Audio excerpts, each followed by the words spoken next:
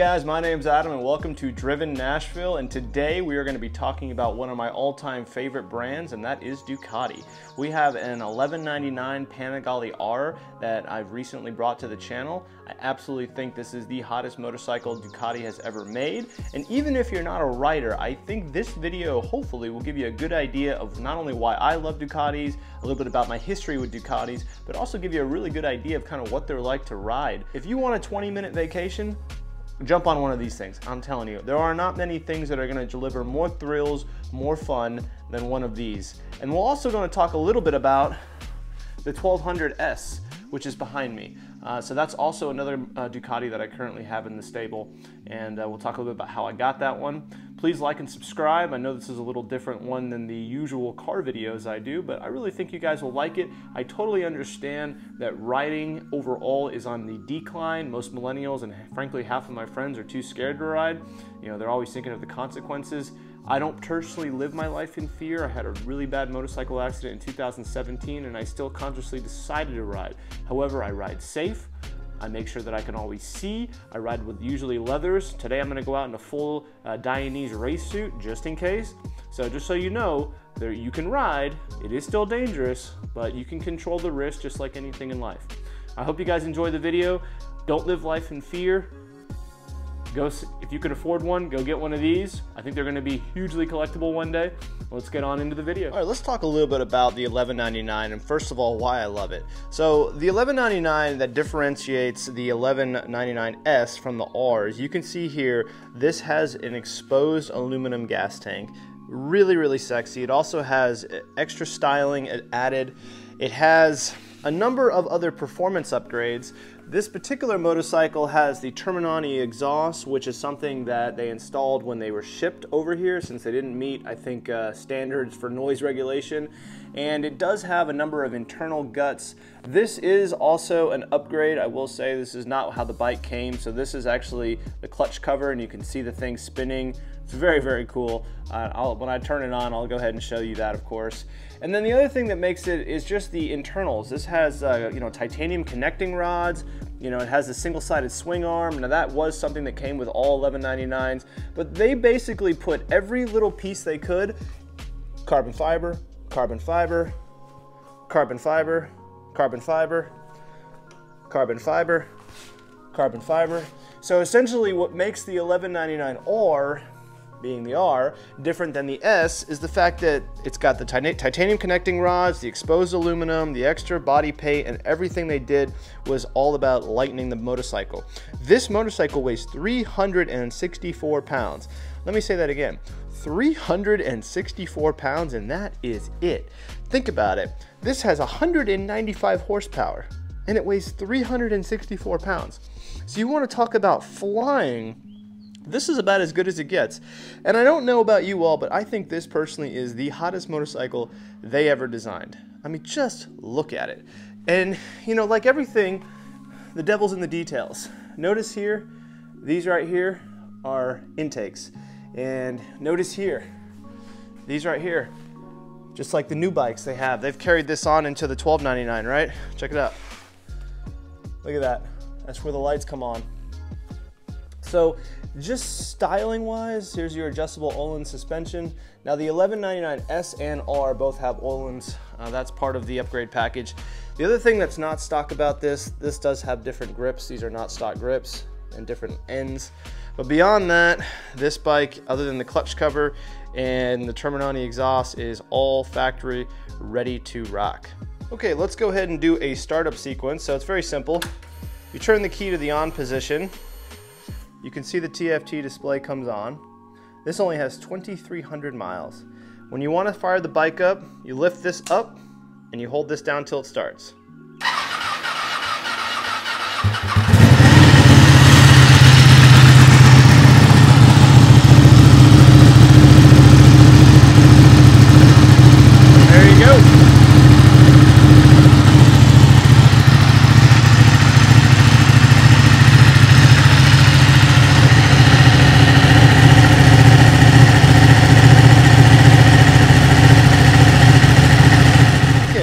You can hear, it's a very loud motorcycle, although I will say it's not actually as loud as the Monster 1200S. So I'll just take a minute to go over this video, just since I pulled it out, uh, to go over it on this video. So this essentially has a 1200cc motor in it, puts out about, I believe, 130, 140 horsepower. So it's not nearly as fast as, of course, this. It's also a lot heavier. Now this is considered more of a naked bike, and the distinction of a naked bike is you see here, all of it is exposed, so it doesn't have Now, one of the cool things I will say real quick about the Panigale is there is no frame in the bike. The actual frame is mounted, everything is mounted to the L twin. So the L twin goes like this and goes like that, right? So all of the fairing bits, all of the actual things that basically support the rider from the seat to all the front forks are all mounted to the engine. Uh, that allows them to save weight. It's really cool when you actually start looking through this thing, how they designed it. Um, it's fantastic design. They've carried it on all the way through even the new Panigale. Now with the naked bike, you can see here, this does have the trellis frame. So everything as far as is connected to the frame, adds a little bit of weight, but it also makes it a little more comfortable to ride. You'll also see here you have more of an upright seating position. It's still pretty darn aggressive. You know, when you're, when you're on it, you are leaning forward, uh, whereas the Ducati, you're pretty much like that, right? Um, so the Ducati is uh, definitely very, very uncomfortable to ride as far as that one. The seat's uh, very, very harsh. This has some, uh, some padding to it. But let's go ahead and turn this one on and I'll show you how it, how it fires So the startup up. sequence is literally exactly the same. I'm gonna go ahead and turn it on, come over here, and then fire it up.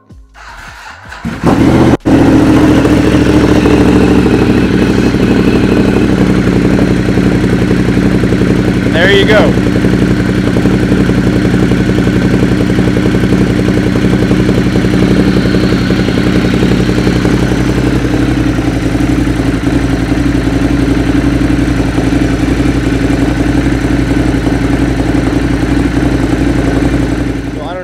That's going to ever come through on the microphone, just how good these bikes sound.